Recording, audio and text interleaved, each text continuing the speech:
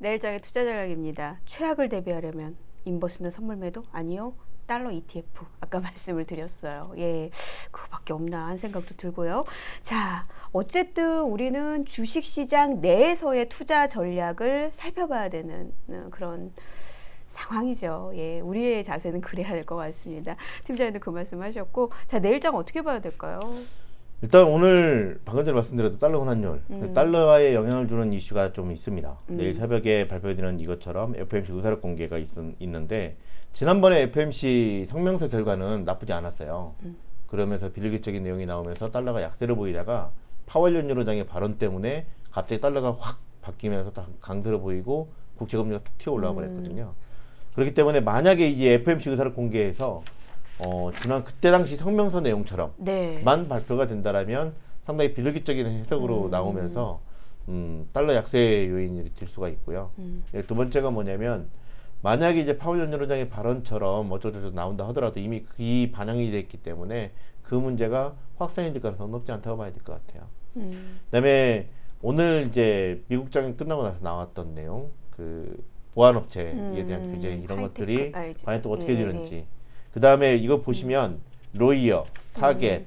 티파니, 뭐 엘브랜드 뭐 이런 것들이 이 소매 유통업체들이 실적 발표가 쭉 이어져요. 네, 네. 그럼 여기서 컨퍼런스 콜에서 또 미중 간의 무역 협상과 관련돼서 특히나 음. 타겟이나 이런 데 같은 경우는 옷이잖아요. 네, 네. 옷 같은 경우는 뭐냐면 중국산이 거의 한 7, 80%를 차지하거든요. 음, 음. 그럼 그 수입 관세가 그만큼 높아지면 얘네들은 문제가 좀 있죠. 음. 갖고 향후 전망에 대해서 뭐 상당히 나쁘게 나올 수도 네. 있기 때문에 그러면 오늘 미국 증시는 부담을 가질 수밖에 없죠. 음. 그러면 내일도 우리들한테 시장 또 부진할 수가 있죠.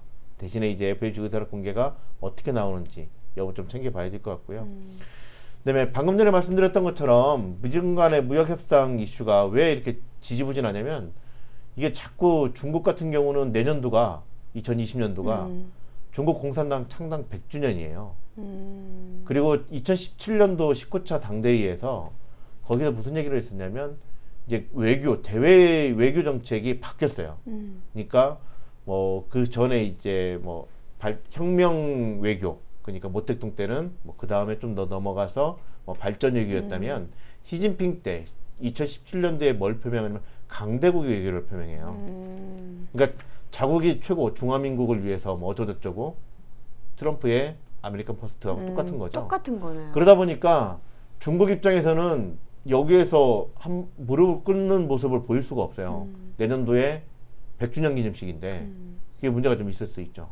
거기다가 또 트럼프는 내년도 대선을 앞두고 있지 않습니까? 네. 그래서 5월달 중반 이후에 계속 나오는 발언이 거의. 매일매일 발언이 많았거든요. 무역 분쟁에 관련돼서.